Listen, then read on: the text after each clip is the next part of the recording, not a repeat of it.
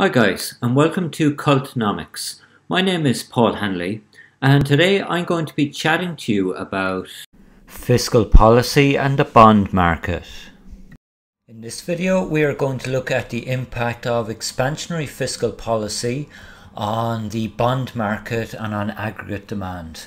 So we have a range of models in place here. What we are looking at is the Keynesian cross initially and the Keynesian cross model has total expenditure on the y-axis and national income down here on the x-axis. The 45 degree line shows perfect symmetry between total spending and national income and we know that the actual spending diverges from this somewhat. So actual spending is made up of consumption plus investment plus government spending plus net exports and these are represented along the expenditure line here. The equilibrium point then shows us where the economy is at in terms of spending in the economy and national income. And in this situation here, we have an equilibrium point at E0 and Y0. And what we're going to look at is where we have expansionary fiscal policy in the form of government expenditure increasing.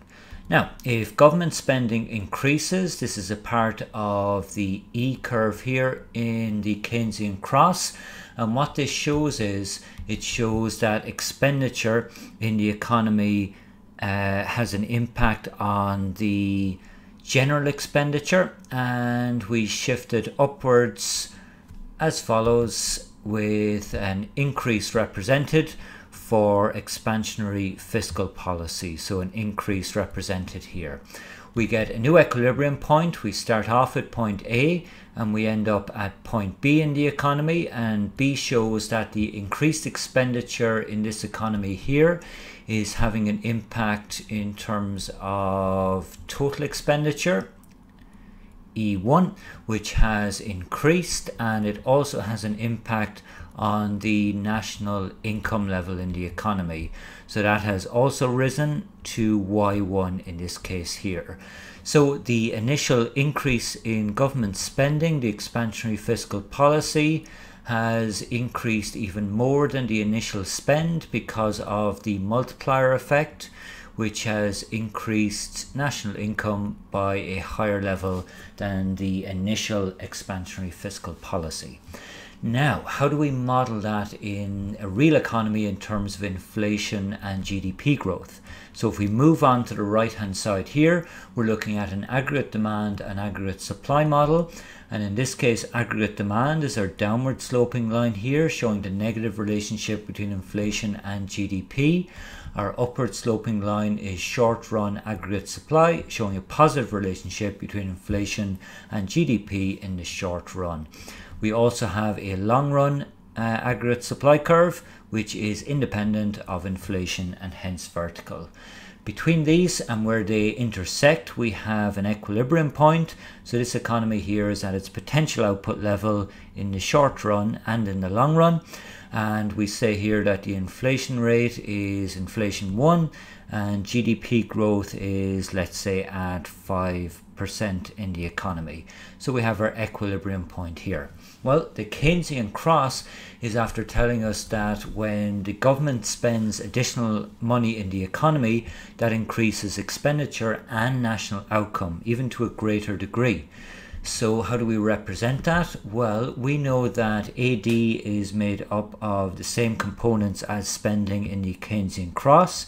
It is our C plus I plus G plus NX. And if government spending increases, as we showed over on the left hand side, what we do is we increase aggregate demand in the economy. So we shift aggregate demand over to the right. We call that now AD1, showing a shift to the right. We have a new equilibrium point, which is point B over here in the short run. And in the short run, the inflation rate will rise in the economy due to the ex extra spending, and at the same time, the GDP growth rate will rise. So GDP levels will rise and rise in this economy here. Now, the increase in expenditure in the short run is probably due to uh, extra debt on the government's behalf. So, how are they financing this government spending increase? They are financing it through bond issuance, government bonds on the uh, bond markets out there in the economy. The issuance of these bonds cause government debt to increase in the economy. Um, what they do is the issuance of bonds here impact on the bond market. So over in the bond market, we have the demand for bonds represented by investors and big uh, pension funds, etc. And we have the supply of bonds. The demand and supply in equilibrium will give you the price level for a bond in the market and it will also give you the quantity of them purchased, uh, demanded and supplied on that market. Now, if the government extra expenditure is financed by the issue of bonds and governments go into debt, their national debt increases. Well, if they're issuing bonds, this means that the supply of bonds increase on the market. Now, if the supply of bonds increase, this is represented by a rightward shift of the supply curve in the bond market. So we go to S1 over here. We started off at equilibrium point A and the increase in bonds for the fiscal policy has increased the supply of bonds and we end up at equilibrium point B here which means that the price of bonds has reduced. The quantity has increased because the government is issuing them to finance its fiscal expansion and more importantly, as we said, the price of them has decreased on the market. So what impact does this have on the yield, the bond yield, the actual interest rate or return on bonds? Well, to see this, we take the example of prices decreasing and we'll say that the bonds issued are very simple bonds by the government. We'll say that they are 100 euro for one year. So there are a one year 100 euro bond being issued. Now, what we can say here is, and we'll just say generally for an example, in this bond market here, when they were issued, uh, and after demand and supply ensued, maybe the price of them fell to 95. So the bond price fell to 95 on the market. Well, in that case there, the actual interest rate on the market is as follows. So we can work this out through looking at a formula.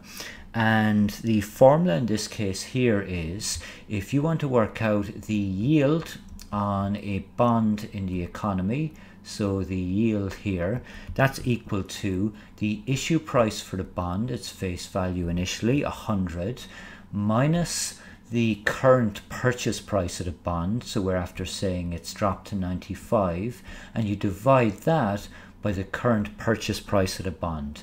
To get in percentage terms, we'll multiply by 100. So what we can say in the economy right now is that the yield, the price, the interest rate on a bond is 100 minus 95 divided by 95 and multiplied by 100. And this gives us 5.26%. So the current price on bonds, uh, the interest rate on bonds in the economy is 5.26%.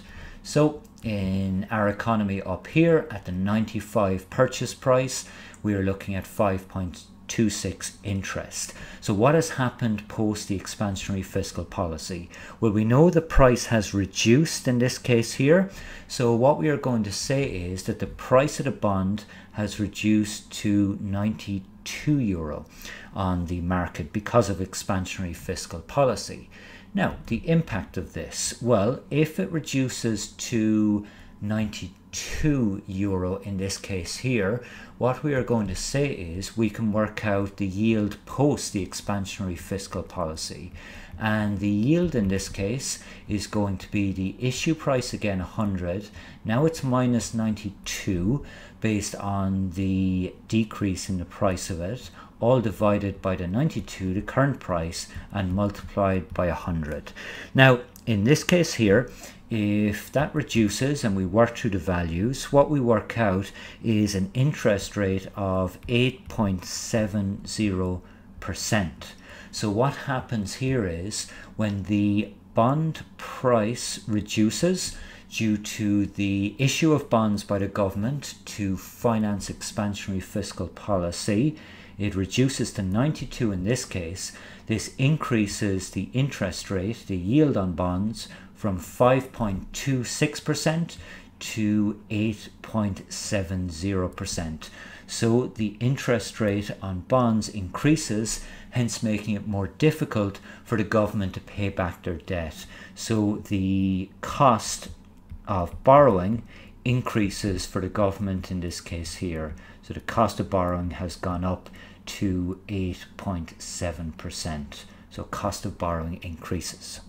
Over on the left hand side in the market for loanable funds up here, what we have is the supply of loanable funds based on saving in the economy and savings can be both private and public, so government and households.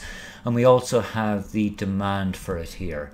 So for loanable funds, we have the supply and demand.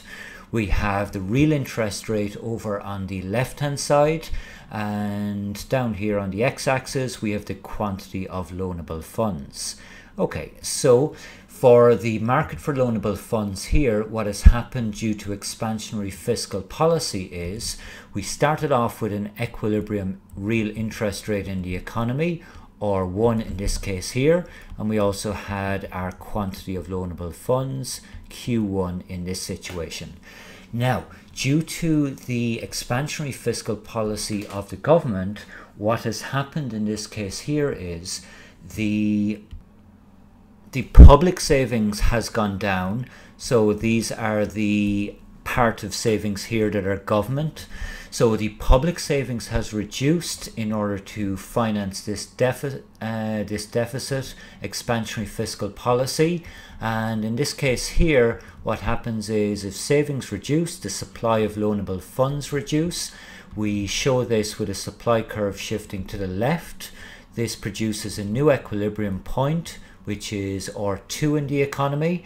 And what this does is it increases the real interest rate. So not only is the cost of borrowing going up in the bond market, but also in the market for loanable funds for general uh, loans in the economy, this also pushes up the interest rate, causing the crowding out effect. So in both situations, it is one, crowding out private investment, and two, increasing the cost of borrowing for the government. I hope you call back to Cultnomics soon. Bye for now.